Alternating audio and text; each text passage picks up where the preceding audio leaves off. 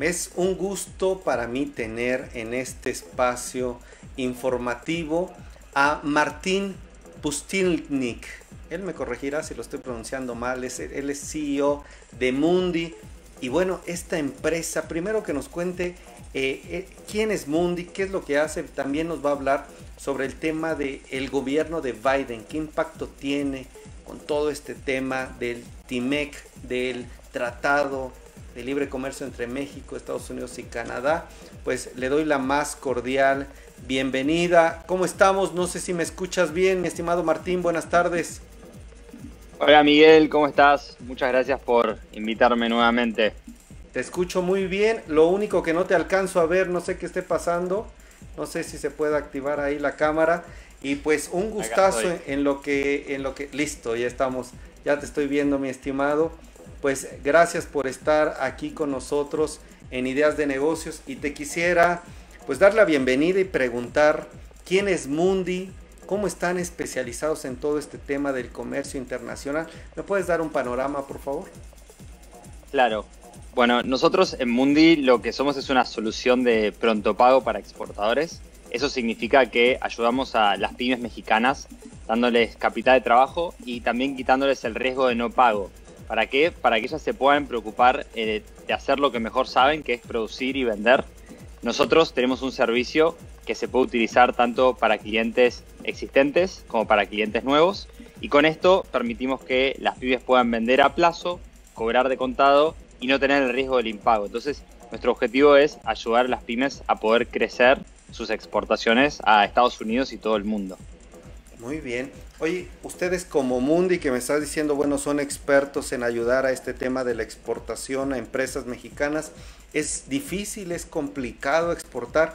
¿Qué tanto se tiene que hacer en este tema para lograr llegar a otro mercado, no?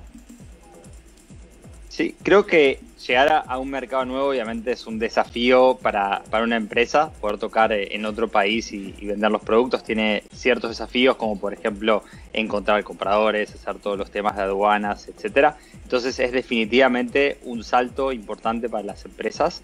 Nosotros creemos que podemos ser un buen socio para las empresas, tanto las que están empezando a exportar como las que ya son existentes, dándoles apoyo especialmente en todo lo que es la parte financiera porque, por ejemplo, vemos que un problema es que le, les piden eh, un contenedor o, le haces un pedido y el exportador no sabe quién es el comprador, entonces no sabe si realmente le va a pagar o no le va a pagar al finalizar la transacción. Entonces nosotros queremos poder ser esa, esa herramienta para que el exportador de nuevo se pueda enfocar en producir y vender y no tanto en medir si el, el comprador es riesgoso o no, en si tiene el capital o no. Eh, y bueno, entonces eso, eso es justamente lo que hacemos nosotros, resolver los problemas financieros para que las pymes puedan exportar más. Muy bien, interesante, la verdad Martín, y muy claro lo que me dices. Permíteme agradecer a Marta Claudia, Gaby Medina, Gloria Gómez, María de los Ángeles, que te este, están saludando también. Eh, gracias, veo que está Mundi presente, gracias por estarnos viendo también el equipo. Y yo quisiera preguntarte, más bien yo les quisiera preguntar en la audiencia, ¿Ustedes en su empresa, en su negocio, les gustaría llegar a otros mercados? ¿Han pensado en esto?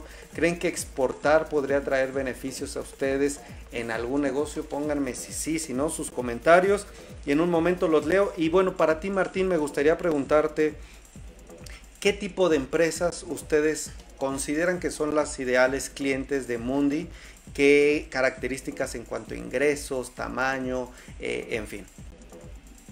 Claro, eh, nosotros trabajamos con, exportadores de, tamaño muy diverso. Tenemos exportadores pequeños que exportan desde unos 30 mil dólares al mes hasta exportadores que eh, exportan millones de dólares.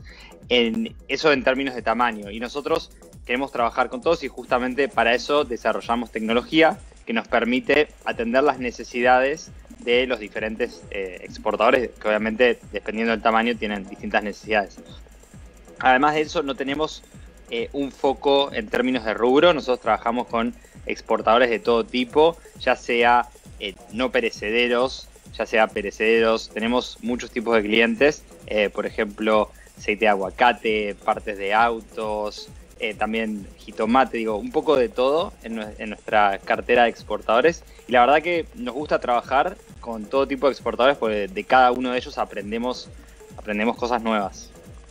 Muy bien, ¿qué consejos? Antes de pasar, es que está muy bueno este tema, Martín, por eso lo estoy tratando de explotar, mm. porque antes de pasar a todo el tema político, Joe Biden y cómo ves tú las implicaciones desde esta firma que ayuda a la exportación. Me gustaría eh, para aquellos emprendedores, empresarios que nos ven y que nos lleguen a ver después en retransmisiones y videos, ¿qué consejos das para tener una buena estrategia de exportación? Digo, además de acercarse a los expertos como Mundi, bueno, ¿qué sí considerar, qué no considerar para lograr con éxito esta salida?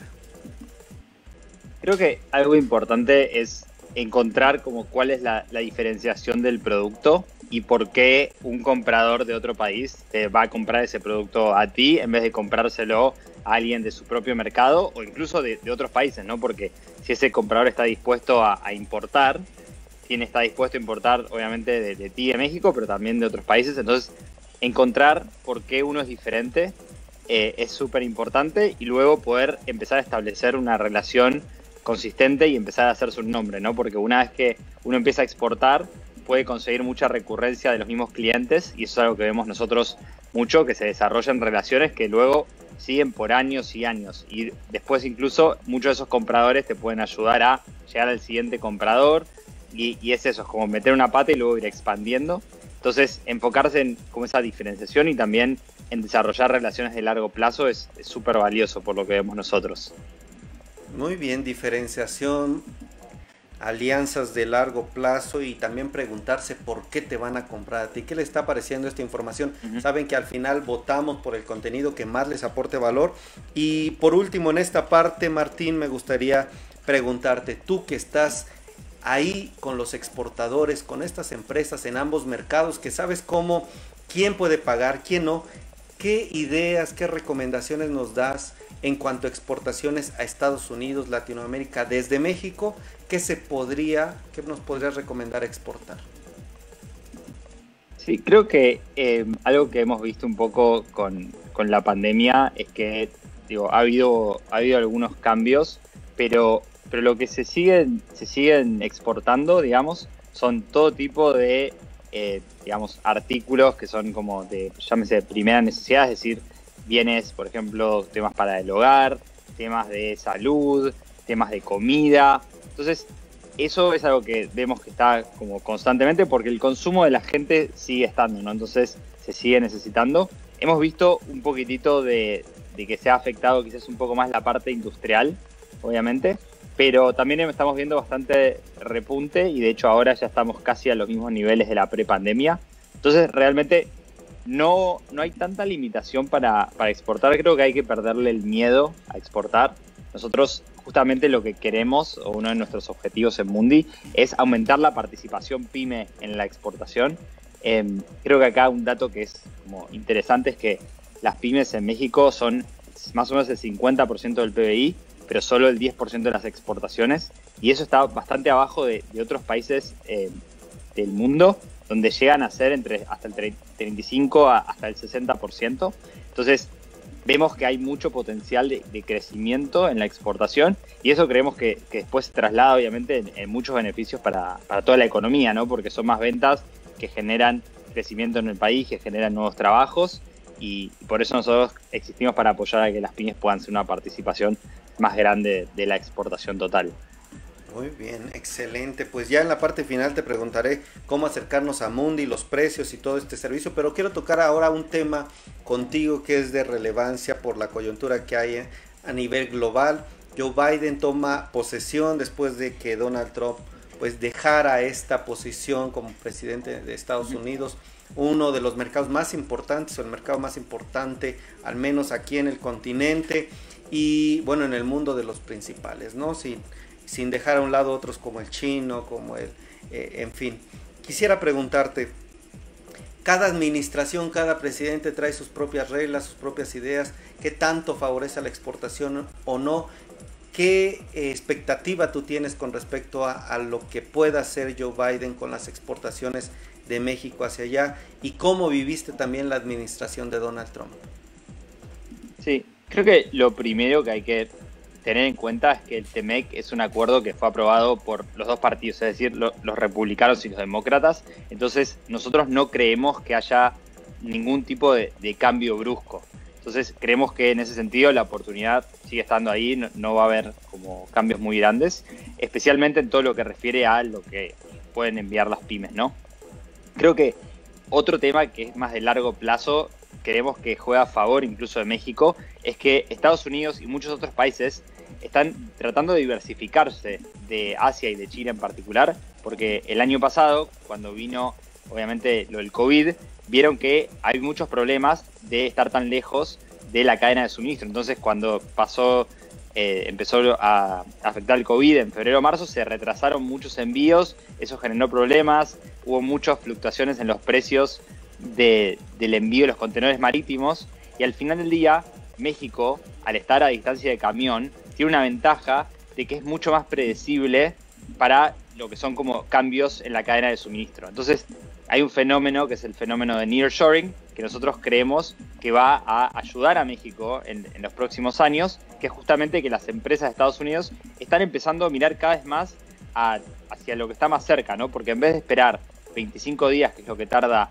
eh, un contenedor en el agua desde China, pueden enfocarse en México, donde estamos a distancia de camión y donde se pueden tomar un vuelo si hay algo que no funciona y arreglarlo en persona. Entonces, nosotros creemos que México está ante una oportunidad súper interesante, que es esta como diversificación que va a hacer Estados Unidos y realmente no creemos que la nueva administración vaya a hacer ningún tipo de, cambio muy brusco que afecte negativamente.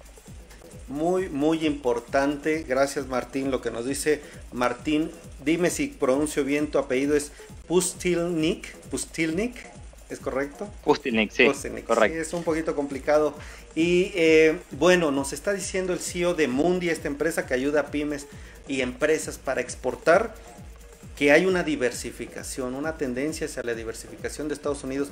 Atención, emprendedores, empresarios, creo que es importante escuchar esto. Nos dice que no habrá cambios relevantes, él considera que la situación se mantendrá estable con estos cambios. Y bueno, ahora sí, yo creo que eh, la otra pregunta con respecto a esto es, ¿Qué riesgos hay en este momento, mi estimado Martín, sobre exportación? Eh, ¿Cómo nos cuidamos para que nuestros productos con el tema de la pandemia no se detengan, no haya un freno? ¿Qué exigencias sanitarias o qué tendencias ves tú en cuanto a riesgos, protección? ¿Cómo cuidar nuestros productos también al enviarlos a, a Estados Unidos?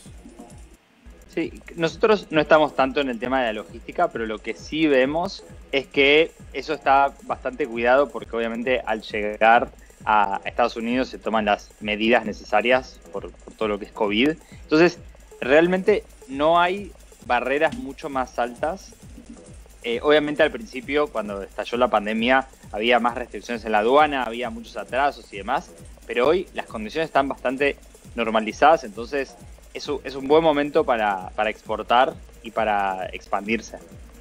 Muy bien, pues excelente. La verdad es que nos has dado mucha información de valor y te quiero preguntar ahora sí, tu página web, cómo acercarnos a ustedes, un poco el tema de precios, cómo están, en qué rangos y, y bueno, finalmente sus redes sociales también. Claro. Eh, bueno, nos pueden encontrar en www.mundi.io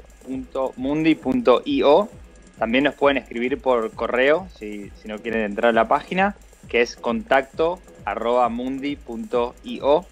Y bueno, ahí tienen formas de encontrarnos. Tenemos eh, LinkedIn, Twitter, Facebook, ahora creo que también tenemos Instagram. Eh, entonces también estamos en redes sociales y nos pueden encontrar directamente ahí bajo Mundi Trade.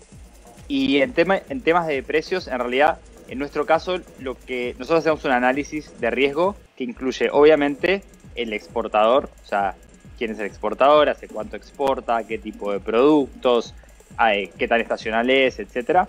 Luego hacemos un análisis de la relación entre el exportador y el comprador, es decir, hace cuánto le vende, si le viene pagando tiempo, etcétera. Y finalmente hacemos un análisis de quién es el comprador, ¿no? Entonces, utilizando todo eso, eh, encontramos un, digamos, un nivel de riesgo que tiene el, el pagador, que si se va a completar la transacción o no, y con eso definimos un precio, entonces es, bastante variable y lo que nosotros en general decimos es que pedimos que apliquen, con eso les damos un precio. Ahora, para dar un rango, eh, nuestras tasas van en general del 1.2 al 2.35% mensual. Esto sobre, obviamente sobre el dinero que adelantamos, ¿no? no sobre el total de la factura. No, hombre, pues excelente. Sobre todo a ti, Martín, CEO de Mundi, te agradezco que nos hayas dado de tu tiempo estos consejos y bueno, te esperamos pronto. Te mando un fuerte abrazo, Martín. Un abrazo, muchas gracias por el espacio, Miguel.